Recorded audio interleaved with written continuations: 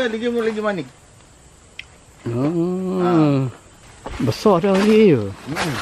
Ah, itu gunaan buah. Hmm. Dah dia ada guna lagi. Daun ni apa guna dia? Ya itu cakap tu. Kalau tak nak makan, minum air untuk kencing manis darah tinggi kolesterol boleh juga. Oh. Pokok ting ni ya. Berapa tahun umur pokok ni? Ada lebih kurang 12 tahun. Oh lama. Hmm. Ya, siap dia kebanyakannya sebab kencing manis, darah Ya. tinggi, Ha. kolesterol. Lepas tu kalau berat badan kita pun akan alhamdulillah dia akan kurang kan. Ha. Sebab kita ni pun nasib kepala. Oh. Sebab uh, okey juga. Jadi kita selama ni kalau tidak panas ke itu memang dia akan pening Ya. hitam, tapi bila makan ni hilang rasa dia. Hilang rasa pening kepala. Oh. Serius cakap sebab saya tak uh, Tak ada orang cerita ben betul-betul ya. Ini betul-betul. Ah. Cuma makan- ambil sebiji yang masak. Yang masak. Ah okey. Cuba cerita sikit. Yang masak dia guna dia. Ini cara yang kita makan. Kita Ah. keluar gini je. Dalam dia. Buah apa dia sebut sebut? Ini adalah buah ting. Ha. Ah, ni buah ting. Betul? Buang kulit dia ataupun orang sedap makan kulit boleh. Oh jangan. Tak boleh. Boleh ya? Boleh Ah. makan kulit. Ah. Sebab kalau boleh cuci betul basuh betul. Ha. Makan je. Hmm. Apa rasa dia? Rasa dia manis-manis. Hmm. Kalau yang jenis yang kasar gini, ini untuk gunaan buat ulam ataupun buat gulai. Hmm. Ha, kalau color yang color ha, color gelap gini. Ha. Yang color gelap gini, ini makan atau buat jus. Oh buat jus ya. Ha, itu yang penting. Tapi khasiat dia bagus. Ha. ha. Kencing manis, darah tinggi, kolesterol, insya-Allah boleh hilang. Hmm. Pengalaman ni ya. Pengalaman sebab kita dah selama sini duduk sini dah 2 tahun. Ha. Tapi khasiat dia tu kadang kita rasa rasa kalau kita dah seorang duduk, Ha. jadi kita kadang nak makan makan. Buat ulai-ulai. Tapi kadang ada masa saya buat ni, jual pun ada. Oh. Tapi ramai kata, eh kenapa murah sangat? Biar uh, biar murah jangan kena kot.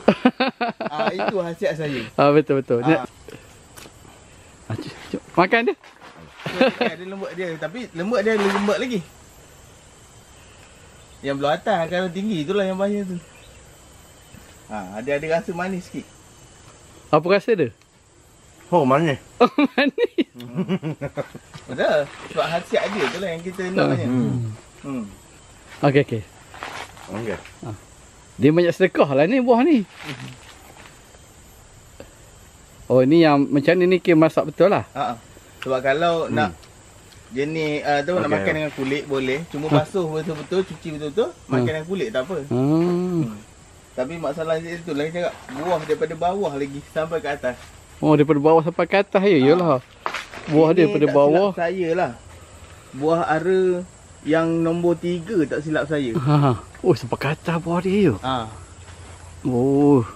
Tahu rumah Lee kan? Lee Cemekau. Ha. Dia ara dia rasa antara nombor satu tu. Sebab tapi buah dia tak lebat macam ni. Hmm, lebat sungguh ya. Sebab yang ara satu lagi tu, Hmm. daripada daun keluar, dia keluar buah. Aha. Ha, itu. Yang ni? rasa tak silap nombor satu. Yang ni yang daripada banyak daripada atas bawah sampai ke atas. Oh jenis ni. Ha. Dan daun dia ada berbuah. Ha? Kalau nombor satu tak silap, dia lima. Aha. Lima bentuk. Aha. Dan lima tangan tu. Aha. Yang satu, nombor dua dia tiga. Ah. Sebab tak silap saya lah. Yang ni nombor tiga. Sebab Ah. dia satu fungsi Ah. penuh je. Ha. Ha. Ah itu silap saya ni. Ha. Oh betul lah buah dia sampai. Mm. Okay, ni buah ara macam kita rasa sama-sama. Macam mana rasa dia. Ah, Kena buang kulit dia sebab tak, sebab tak basuh tu kan. Mm. Okay. Ni. Okay, kita akan rasa sama-sama. Hmm, manis. Hmm. Hmm. Buat ubat je. Buat ubat. Hmm. Okey dah cuba lah. Dia mana darah tinggi kolesterol tu boleh hilang insya-Allah. Berkurang je. Ha. Hmm.